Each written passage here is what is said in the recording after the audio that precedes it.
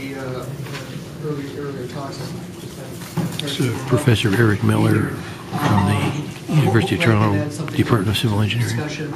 I uh, just got the last few minutes of Jack's presentation.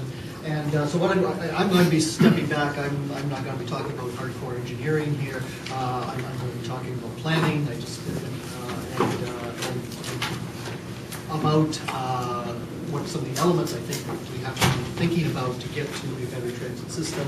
Uh, Background being, of course, uh, the decisions that have been made recently uh, ongoing here in terms of, in terms of transit, uh, things that haven't been happening, happening over the years.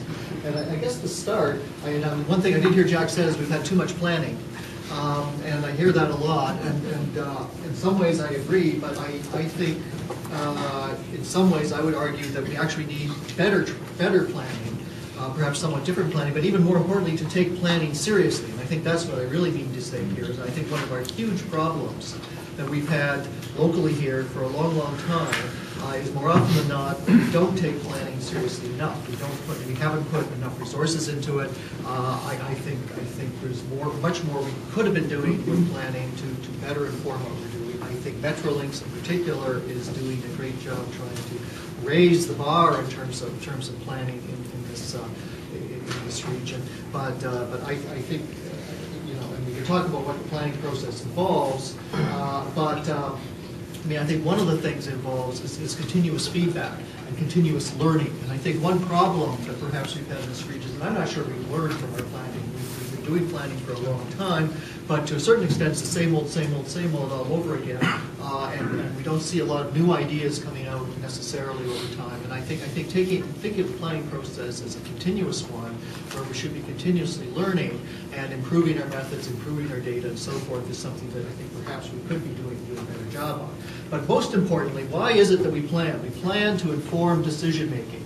Planning is not an end in itself, yes, and so all we ever do is plan and write nice reports, um, and I build computer models and, you know, crank a bunch of numbers. If that's all we do, that is a waste of time. The reason we're supposed to be doing that is to inform, first of all, to inform and engage the public and decision makers in discussion, debate, and to educate them um, about what the, what the, the evidence is, the best facts, how things actually work, what, what works, what doesn't. So first of all, planning should be informing that process in a very effective way. Um, just go back. Um, One of the things that planning should be doing, and I, and this is where I don't think we have done a very good job, is we should be telling stories. We should be, we should be able to explain to the public why this works and why that doesn't, why this is a good idea, why, why that isn't, what the risks are of this approach, but what are the risks of doing nothing?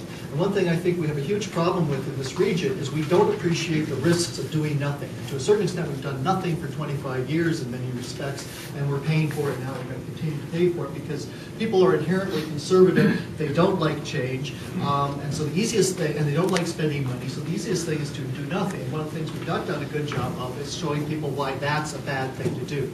So we, I, I think as a community, as a professional community, we have to do a much better job of explaining the benefits, the real benefits and costs, the real risks and rewards of different approaches.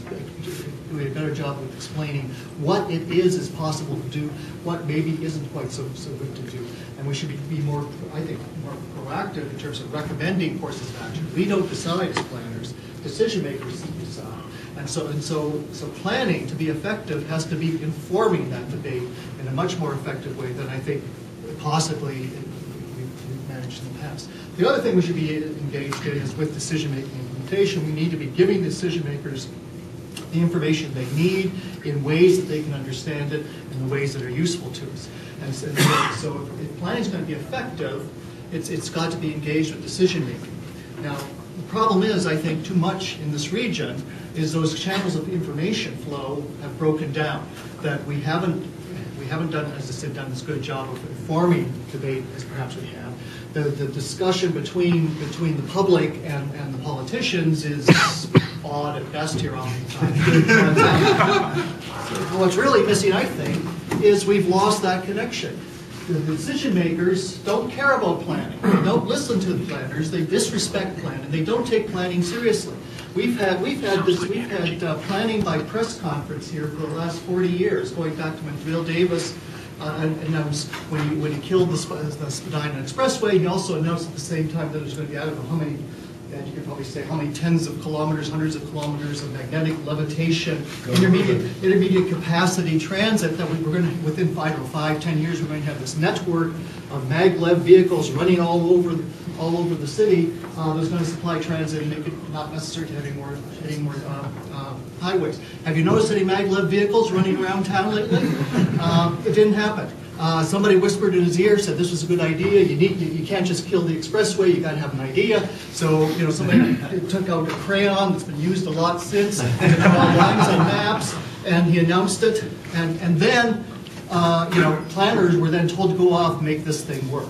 And since then, and, and- and since then, we've had one, one study, a lot of the planning that's gone on has been, has been to justify announcements in the press by politicians before the planning was done. So part of our problem is either the decision makers don't pay attention to planning, or they make the decision first and then tell the planners to go off and justify it. And, and until we reverse that process and get back to uh, having proper technical input in decision making, we may be in trouble. Um, So from that point of view, what I want to do is spend the rest of my few minutes here trying to talk a little bit of some of the things that I think are important to consider um, in, in trying to design a transit, transit plan, a transit policy to actually get transit built that may do something for us. The first, uh, the first uh, step, I think, is to understand, in fact, who does use transit, who might use transit, um, and what the demand for transit is and could be. Now, that sounds pretty motherhoodish, but you'd be surprised how little decision makers uh, and how little the debate is actually informed what the actual travel patterns in this region are. Some of you may know I was involved in that, in that incredible uh, uh, experience of the Sheppard Avenue, uh, you know, LRT versus subway debate a, a year or so ago now. Um, and I was shocked that in that discussion, the entire discussion about those two technologies, first of all, there weren't even, there different technologies, different routes, they weren't even apples to apples.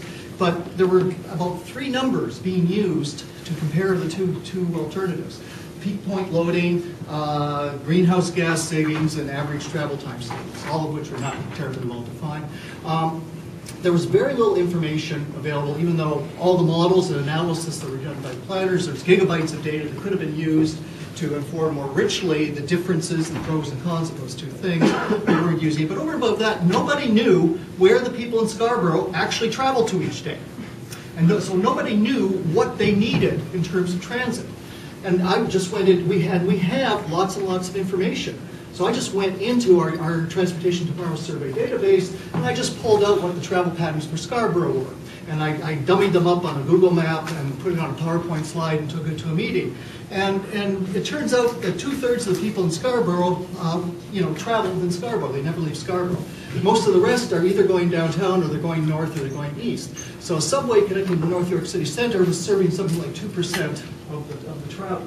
So we're having this huge debate about tr- trying to improve transit in Scarborough, and we're talking about spending billions of dollars for something that would have, you know, this much impact on the daily lives of most people in Scarborough. So surely it would be better if we understood, before we get into these heated debates, if we, if we actually understood what the problem was. You're almost all engineers here, you know, you, before you design the bridge, you have to figure out, you know, you know, what's, what river is it that we're going to cross? And, and, you know, and what's the volume flow, and, you know, some, some basic parameters of the problem before you rush off and start, and start. Second of all, obviously, we need to know what the tools are we can bring to, to bear. What are the technologies, what are the services, uh, what's the performance of different kinds of transit, and what's it suitable to serve? And also, fundamentally, we have to understand that when we talk about transportation, we can't just talk about transportation. We have to understand that transportation serves the land use, it serves people. It's urban form that drives transportation as much as transportation drives urban form. And, and, and if we don't have a match between the urban form, the population employment distributions, the densities and so forth, and our transit system, our transportation system, it's not going, not going to work. And again, that, that understanding is often very much lacking. So just to show some trends, I think people are very familiar with this, but why is transportation such a huge issue in this region? Well, again, if you look over the last 20 years, 25 years, um, we've built very little transportation in this region. Uh, very few roads, very little transit. At the same time, the population is growing immensely. depending on the measure and the boundaries, Toronto's one of the fastest, if not the fastest growing, particularly in a continuous sense, urban region in North America. Um, uh, it- It's arguable that no city, no- no urban region in, in, in North America, other than maybe Mexico City, uh, we always forget that they're part of North America too, um, has, has, has experienced the same sort of growth stresses. So we've grown tremendously, but we've added very little infrastructure. Um, Households and auto ownership naturally have increased with population, uh, but transit and, and, and non-motorized travel hasn't kept up because we haven't provided the, the infrastructure. So the growth and congestion we see out there is no surprise. The demand has gone up tremendously, the supply hasn't increased hardly at all, there's a mismatch, and, and, and because we haven't kept up with it over time, we're now in a, in a bit of a crisis situation. That population growth has gone on everywhere, and I apologize for all these numbers, someday I'll get it into a proper chart. But the big thing to notice is there has been growth in the Toronto downtown, a lot of growth in the Toronto downtown, but huge growth out in the 905 in the suburban regions. And- And that's, that's the big challenge, is that we've been growing in a very auto-oriented environment that's, that traditionally is very difficult to serve by transit. And again, we're trying, we're trying to catch up with that. Uh, Trip making has gone on in in the same way, and again, we see huge growth, particularly in 90 905 regions, uh, commensurate with the population. Uh, And the, and the auto drive trips have gone up tremendously. The trip rates and the percentage of auto trips have gone up more than proportional to population. So again, it's no wonder that we experience congestion in this region. Transit ridership has increased, but not proportionally. Um, And, and uh, over a long period of time, transit, transit ridership has gone up, transit mode shares haven't gone up. Interestingly enough, between 2001 and 2006, we actually started to reverse that trend. Mode shares across the region actually went up between 2001 and 2006. I haven't had a chance to look at our most recent survey data from 2011-12 yet, it just came out. Uh, Hopefully, we'll see that trend continuing. And that's very interesting because despite a very minimal investment. And Go has, over that time period, Go and expanded capacity a bit. Uh, Viva came online uh, in the early days in, up in York. Uh, There has actually been a bit of expansion in transit in some of the 905 region. But I think it's also a question of congestion, catching up with things, and people looking for alternatives. Uh, And just imagine what the transit ridership might have been if we'd actually been giving them real supply increases, real improvements in service over that time period.